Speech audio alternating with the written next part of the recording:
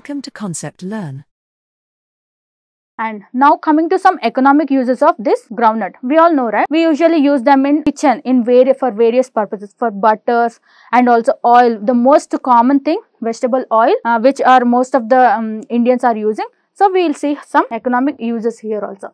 So groundnut oil, it is a cooking media for preparing different food items. It is the primary source of vegetable oil requirement to the Asian people. So, we people, we Indians and also some most of the uh, people from Asian countries use groundnut oil as a major source of cooking media. And also the groundnut seed contains 45% oil and 26% of protein. Okay, you have to remember this no matter what. The oil contents and the protein contents in oil seeds are very important. So, you should remember them. In groundnut, we have how much? 45% of the oil and 26% of protein. Okay.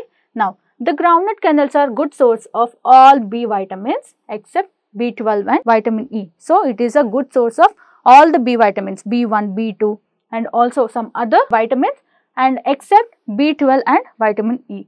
Okay. And also these groundnut kernels are rich in phosphorus, calcium and magnesium including micronutrients like ferrous and zinc. So, now it is a good source like we have so many vitamins like B vitamins except B12 and vitamin E and also groundnut kernels are rich in phosphorus, calcium, magnesium and also some other micronutrients like and now groundnut oil is a major source of edible oil in India as we have already seen that and the inferior quality is used for making soaps, detergents, cosmetics, paints, candles, lubricants and some of the medicines. We have seen uh, these groundnuts are hand picked like the good grades grading will be done in uh, groundnut and the best ones will be picked up by manually by hands the least graded ones will be sent to very different uh, manufacturing or different industries uh, which can be used for here we can see lubricants like soaps detergents uh, paints candles and lubricants. We have they have different purposes.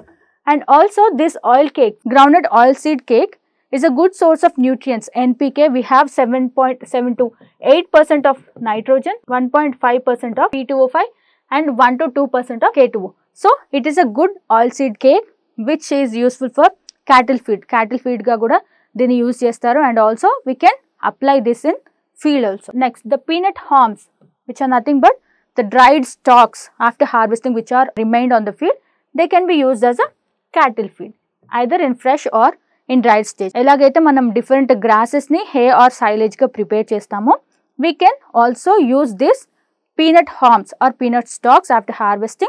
Uh, we can preserve them and use them as cattle feed later. It is also suitable for crop rotation. Okay, manchi substitute crop rotation lo manchi easy growing crop kabati crop rotation lo idini kuda which is very much suitable and also in some areas groundnut is used as a green manure crop. As usual we know this has some important nitrogen fixing facilities so మనం ఎప్పుడైతే green green crop, like లాగా grow చేసి we will incorporate directly into the soil.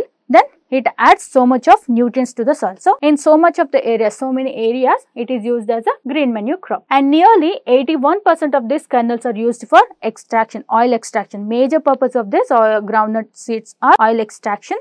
So major part 81% is used for oil extraction only. Then next 12% is used for seed purpose which is used for growing the next crop 12% and 16% is raw materials. For raw materials 6% of this is used and 1% is exported in terms of hand picked selections as I've already said hand picked selections ante uh, manual ga we will pick we will grade them manually with our own hands మంచివి ఏవైతే ఉన్నాయో దాన్ని separate చేసి least ones ఏవైతే బాగాలేనివో we have we will be separating them and the best ones will be used for exporting okay only 1%. We have only 1% for uh, exporting in terms of hand-picked select. And also groundnut is able to fix atmospheric nitrogen in the rate of 60 to 100 kg per hectare. Okay, 60 to 100 kg per hectare.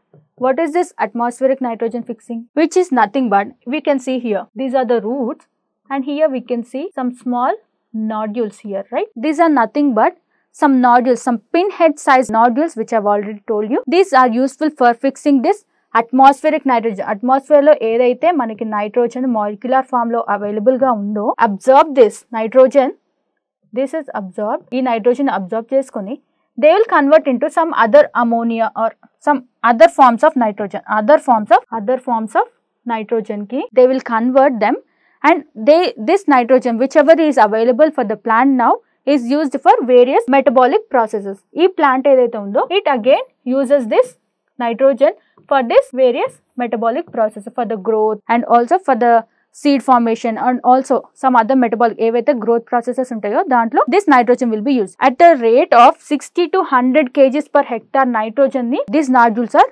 fixing in in groundnut especially okay